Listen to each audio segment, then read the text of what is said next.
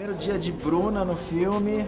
É, hoje é o dia que Raquel vira Bruna, se encontra, dança, gosta dela mesma, seduz os homens e viemos da, do apartamento dos pais, que era a Raquelzinha ali, tímida. Hoje Bruna vai mostrar o escorpião.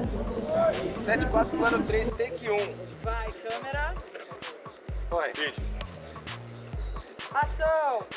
Um dia elas resolvem ir para as Bórnia mesmo, vamos enfiar o pé na jaca, vamos beber, vamos enlouquecer. E aí já está no momento do filme que a Bruna já acredita mais nela também.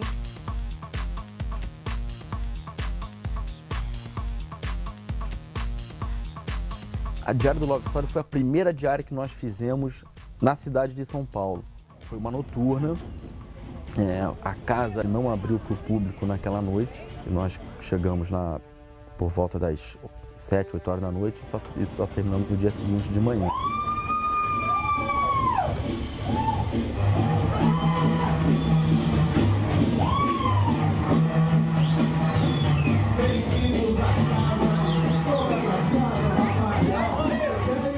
É uma virada importante para a personagem, onde ela já tem uma confiança, né? ela já é a preferida dos clientes, ela já vai para lá com uma força maior. Né?